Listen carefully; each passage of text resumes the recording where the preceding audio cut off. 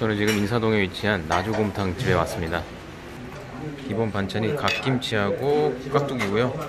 그다음에 저는 오늘 수육곰탕을 시켜가지고 보니까 아 고기가 엄청납니다. 거의 스테이크 수준의 고기가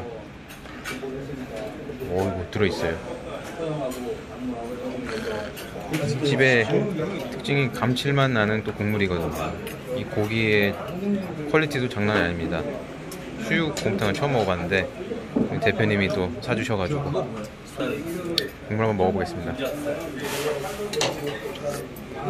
아 국물이 오늘은 그렇게 짜지도 않고 가끔 짤 때가 가끔 있거든요. 수육이라서 더 깊은 맛이 나는 것 같습니다. 이게 고기의 모습인데요. 이 힘줄, 부드러운 힘줄 같은 것들이 있어가지고 이게 정말 제가 또 쫄깃쫄깃하게 먹을 수 있을 것 같습니다. 아, 맛있을 것 같습니다. 음, 음 고기가 정말 쫄깃쫄깃합니다. 음. 아, 확실히 비싼 거라 비싼 거라도 맛있네. 음,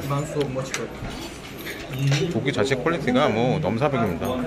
밥을 안 먹어도 양이 충분할 것 같은 응? 고기만 먹어도.